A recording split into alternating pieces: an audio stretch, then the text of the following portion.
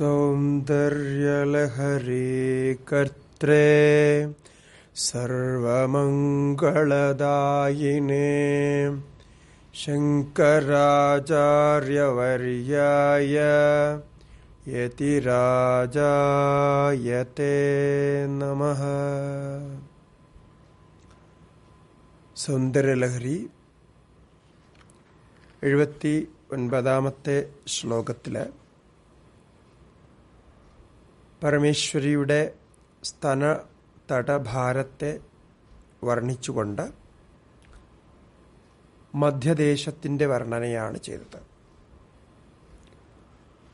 സ്തനഭാരം കൊണ്ട് ലഘുത്വം പ്രാപിച്ച മധ്യദേശം. അതിന്റെ വർണനയാണ് ഇനിയും തുടർന്ന് എൺപതാമത്തെ ശ്ലോകത്തിലും വരുന്നത്. അതിൽ എൺപതാമത്തെ ശ്ലോകത്തിൽ സ്തനഭാരങ്ങളുടെ വർണനയും അതോടൊപ്പം തന്നെ ഉദരഭാഗത്ത് സാധാരണ കാണുന്ന മൂന്ന് വരകൾ ആ ലവലീവല്ലി എന്ന് പറയുന്ന ത്രിവല്ലികൾ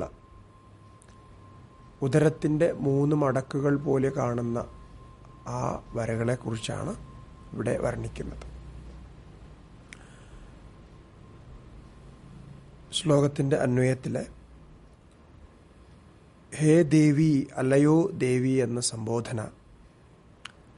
സദ്യ സ്യുദ്ധ്യത് തടഘടിത കൂർപ്പാസഭിതുരൗ ദോർമൂലേ കഷന്തൗ. കനകകലശാഭൗ കുചൗ കലയത തനുഭുവ.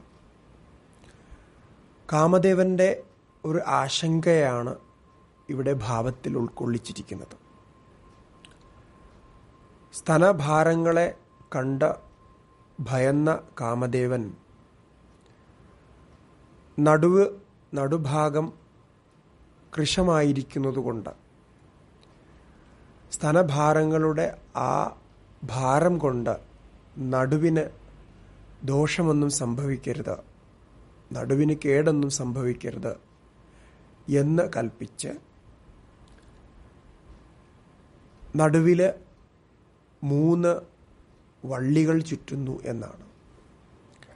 അപ്പോൾ നടുവിന് ബലം വരാൻ വള്ളി ചുറ്റി ബലം വരുത്തി എന്ന ഭാവനയാണ് ഇവിടെ ചേർത്തിരിക്കുന്നത്.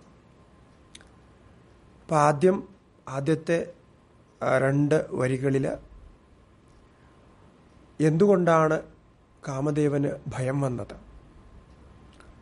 സൗന്ദര്യത്തെ നിലനിർത്തുക അല്ലെങ്കിൽ സൗന്ദര്യത്തിന്റെ ദേവതയാണ് കാമദേവൻ. പരമേശ്വരിയുടെ സൗന്ദര്യത്തിന് ഏതൊരുവിധ കേടുപാടുകളും സംഭവിക്കാൻ പാടില്ല. അങ്ങനെ സംഭവിച്ചാൽ തന്റെ ഉത്തരവാദിത്വം തന്നെ പ്രശ്നത്തിലാകും എന്ന് വിചാരിക്കുന്നത് പോലെ കാമദേവൻ ആ സ്തനഭാരങ്ങളുടെ വർണനയിൽ അല്ലെങ്കിൽ അതിന്റെ ആകാരം കണ്ട് ഒരു തരത്തിൽ ഭീതി അനുഭവിക്കുകയാണ്. അങ്ങനെയാണ് അത് രക്ഷിക്കണമെന്ന് ഉദ്ദേശിച്ച് ആ കടിപ്രദേശത്തെ രക്ഷിക്കണമെന്നുദ്ദേശിച്ച് ഈ മൂന്ന് വലയങ്ങൾ കെട്ടിയത്. അത് ലവലീവല്ലി എന്ന പീതവല്ലി കൊണ്ട് വസന്തലത എന്ന് പറയപ്പെടുന്ന സുന്ദരമായ ഒരു ലതയാണ് ഈ ലവലി വല്ലി ആ ലവലി വല്ലി കൊണ്ട് മൂന്ന് വട്ടം വരിഞ്ഞു കെട്ടിയതാണ്. ഒരു ബലം വരാൻ വേണ്ടിയിട്ട്. ആ രീതിയിൽ ഒരു ഭാവന രണ്ട് തരത്തിലും അതായത് കാമദേവന്റെ ഭീതിയെ കാണിക്കുന്ന തരത്തിലും അതുപോലെ പരമേശ്വരിയുടെ കടിപ്രദേശത്തിന്റെയും സ്തനഭാരങ്ങളുടെയും സൗന്ദര്യം വർണിക്കുന്ന തരത്തിലും അതിന് കാമദേവന്റെ ഉത്തരവാദിത്വം എന്താണ് എന്നതുമൊക്കെ ഇവിടെ ഭാവനയിൽ കാവ്യരീതിയിൽ ചേർത്തിരിക്കുന്നു. അപ്പൊ സദ്യസ്യുദ്യത് തടഘടിത കൂർപ്പാസഭിതുരവും കുജങ്ങൾ എങ്ങനെയാണ് സ്തനഭാരങ്ങൾ എങ്ങനെയാണ് എന്നത് വർണിച്ചുകൊണ്ട് സദ്യ അതായത് പരിധാനങ്ങൾ കെട്ടുന്ന സമയത്ത് തന്നെ മുലക്കച്ച കെട്ടുന്ന സമയത്ത് തന്നെ സ്വിദ്യത്ത് വിയർപ്പ് കൊണ്ട് സ്വേദജലം കൊണ്ട് അത് നനയുന്ന അവസ്ഥ.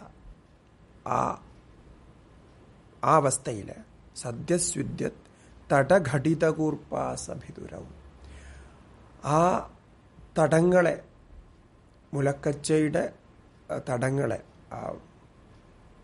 സ്തനഭാരം അത്രയും വികസിച്ചതുകൊണ്ട് ആ വികസിച്ച സ്തനഭാരത്തിൽ മുലക്കച്ച കെട്ടുമ്പോൾ അതിന്റെ രണ്ട് വശങ്ങളും പരസ്പരം ചേർന്നുരസി.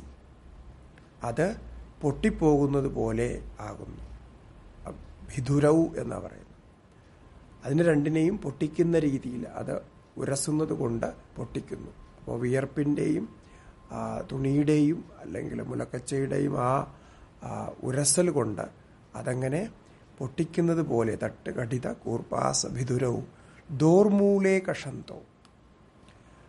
അങ്ങനെ വിശാലമായ ആ സ്തനഭാരങ്ങളുടെ ആ വിശാലത കൈകളുടെ കക്ഷങ്ങൾ വരെ എത്തിയിരിക്കുന്നു. അത്രയും വികസിച്ചതാണ്. കനകകലശാഭവും അതുപോലെ കനകകലശങ്ങൾ പോലെ കഠിനങ്ങളുമാണ്. കനകം സ്വർണം സ്വർണകലശങ്ങൾ പോലെ കഠിനങ്ങളുമാണ്. അതുപോലത്തെ ആകാരത്തോടു കൂടിയതാണ്. അങ്ങനെ നേരത്തെയും വർണിച്ചിട്ടുണ്ട്. അത്തരത്തിലുള്ള കുചവു കലയത ഇത്തരത്തിലുള്ള സ്തനഭാരങ്ങളെ കണ്ട് ചിന്തിക്കുന്ന കാമദേവൻ കലയത തനുഭുവ. തനുഭൂ എന്നാൽ കാമദേവന്റെ പേരാണ്. സുന്ദര ശരീരമുള്ളവൻ എന്ന അർത്ഥത്തിൽ കാമദേവനെ പറയുന്നു. ഭംഗാത് അലമിതി വലഗ്നം ത്രാത്തും ത്രിവലി തവ വലഗ്നം ലവലീവല്ലിഭി ത്രിധാനദ്ധമിവ. ഇനിയാണ് ആ രസകരമായ ഭാവന ചേർക്കുന്നത്. അങ്ങനെ ഭയന്ന കാമദേവൻ എന്താ ചെയ്തത്? ഭംഗാത് ഓ കടിപ്രദേശത്തിന് ഭംഗം സംഭവിക്കും. അത് പൊട്ടിപ്പോവും. എന്ന് ചിന്തിച്ച്